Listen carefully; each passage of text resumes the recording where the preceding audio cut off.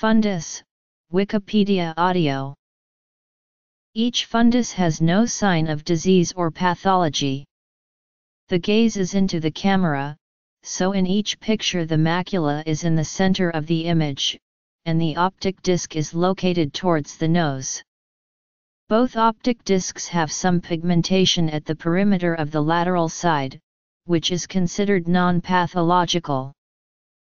The fundus of the eye is the interior surface of the eye opposite the lens and includes the retina, optic disc, macula, fovea, and posterior pole.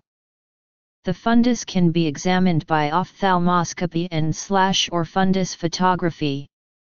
The term fundus may also be inclusive of Bruch's membrane and the choroid. The color of the fundus varies both between and within species. In one study of primates the retina is blue, green, yellow, orange, and red, only the human fundus is red.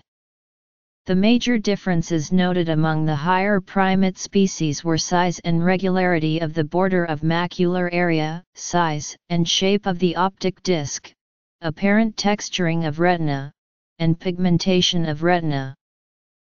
Variation Medical signs that can be detected from observation of eye fundus include hemorrhages, exudates, cotton wool spots, blood vessel abnormalities and pigmentation.